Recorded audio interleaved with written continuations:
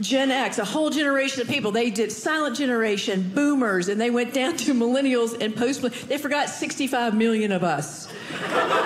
but here's all you need to know about Gen X we don't care.